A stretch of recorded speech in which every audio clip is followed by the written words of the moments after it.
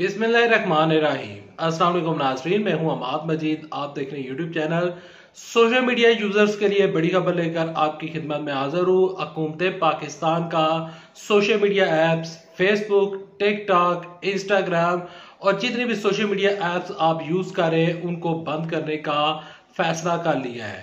یہ جو بندش ہے، کب تک رہے گی، کتنے لمبے عرصے تک یہ بندش رہے گی، اور یہ سوشل میڈیا ایپس کیوں بند ہونے جا رہی ہیں؟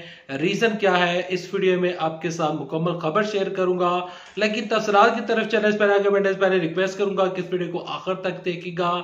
اگر آپ اس چینل کے اوپر نئے تو اس ویڈیو کو لائک کیجیے گا چینل سپرائب کیجیے گا، تاکہ جو آنے والی نیوز اپڈیٹس ہیں، آپ ان کو جان سکیں۔ دیکھیں، صبح میں اٹھا ہوں اور میں نے اٹھتے ساتھ ہی خبر پڑھی اور وہ خبر یہ تھی کہ جو پنجاب کی گورنمنٹ ہے یعنی کہ مرین واشی صاحبہ کی گورنمنٹ ہے، انہوں نے ایک فیصلہ کیا ہے۔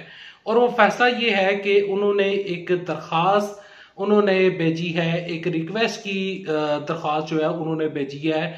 وفاقی گورنمنٹ کو اور اس میں موقف یہ اختیار کیا گیا ہے کہ محرم الارام میں پاکستان میں جو سیکیورٹی کے مسائل ہوتے ہیں اور اس کے علاوہ جس طرح یہاں پر لوگ مذہب کے نام کے اوپر ڈیفرنٹ طرح کے جو پوسٹیں جو ہوتی ہیں، وہ وائرل کرتے ہیں اور اس سے یہ ہوتا ہے کہ فرقہ واریت پھیلتی ہے اور اس طرح لڑائی جھگڑے ہو جاتے ہیں۔ تو لہٰذا پنجاب کی جو گورنمنٹ ہے، وفاقی حکومت سے ریکویسٹ کرتی ہے کہ چھ محرم الارام سے لے کر گیارہ محرم الارام جو ہے، تب تک سوشل میڈیا کی ایپ، جتنی بھی سوشل میڈیا ایپس ہیں، ان کو بند کرنے کی سفارش کی جاتی ہے۔ اس کے اوپر وفاقی گورنمنٹ کا رد عمل سامنے آ گیا ہے۔ وفاقی گورنمنٹ نے یعنی کہ شہباز شریف صاحب کی گورنمنٹ نے کہا ہے کہ سوشل میڈیا ایپس کو بند کرنے کا یہاں پر کوئی مقصد، کوئی جواز نہیں بنتا۔ ہم سوشل میڈیا کی ایپس بند نہیں کرنے جا رہے۔ اور ہم جو سیکیورٹی ہے اس کو ٹھیک کریں گے۔ سوشل میڈیا ایپس کو بند نہیں کیا جائے گا۔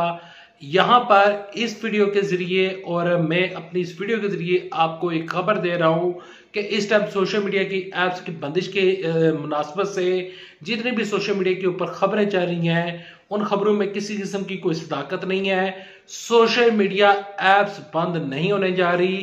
لوگ یہ سمجھ رہے تھے کہ یہ چار پانچ دنوں کے لیے بند کریں گے اور بعد میں پوری زندگی پاکستان میں جب تک ان لوگوں کی حکومت ہے تو یہ سوشل میڈیا کی ایپس بند رہیں گی۔ ایسا نہیں ہونے جا رہا۔ سوشل میڈیا کی ایپ جو ہے وہ گورنمنٹ بھی استعمال کرتی ہیں اور سوشل میڈیا ایپ جو ہے پاکستان میں بند نہیں ہوگی یہ ریکویسٹ فارورڈ کی گئی تھی لیکن وفاقی حکومت نے اس کو ریجیکٹ کر دیا۔ آپ سوشل میڈیا استعمال کریں۔ اپلیکیشن بند نہیں ہونے جا رہی۔ اللہ حافظ، پاکستان زندہ باد، افواج پاکستان